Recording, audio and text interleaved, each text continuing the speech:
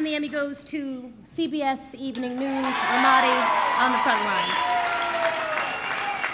As the Marines start to head out, they pass these Iraqi men who they believe must know if an attack is coming, but they offer no warning.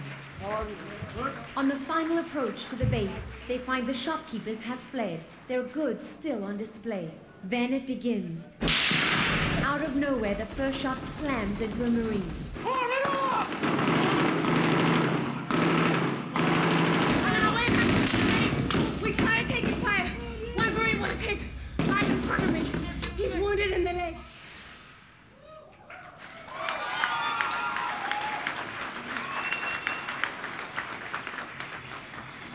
Thank you very much to everybody who's here tonight and to the Emmys.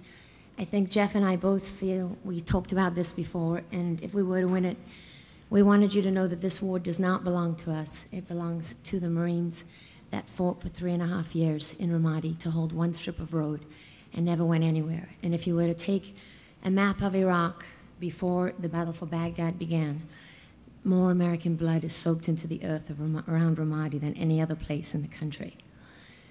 And when we went to cover this story, just Jeff and I, he wasn't actually working for CBS Evening News, he was working for 60 Minutes.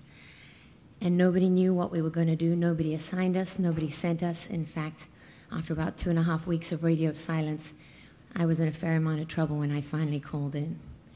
But I believed in covering this story because day after day we would sit in Baghdad and get press releases about the deaths of American Marines and soldiers in Ramadi and have no way to show what they were living through.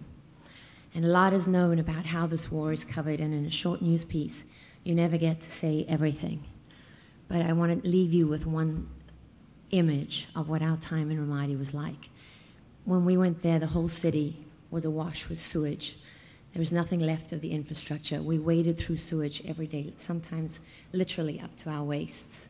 We had no water to wash or food to eat, and those are the conditions in which the Marines are working every single day. It was so dangerous that the Army refused to supply them downtown. So most of them lived on what they had sent over from home, from their families and from their friends. And Jeff and I were in the kitchen the one day with the Marines, we were talking, and one of them threw away a few pieces of moldy bread.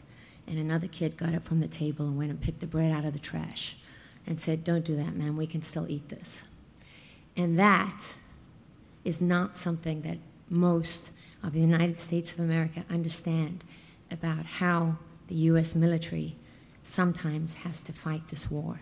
And when I came back from Ramadi to edit these pieces in New York, I just looked around me like I was on an alien planet because there's no way you can ever explain what it's really like for the guys that are fighting it. No matter what you think about the war, the suffering on all sides is really a terrible thing to see.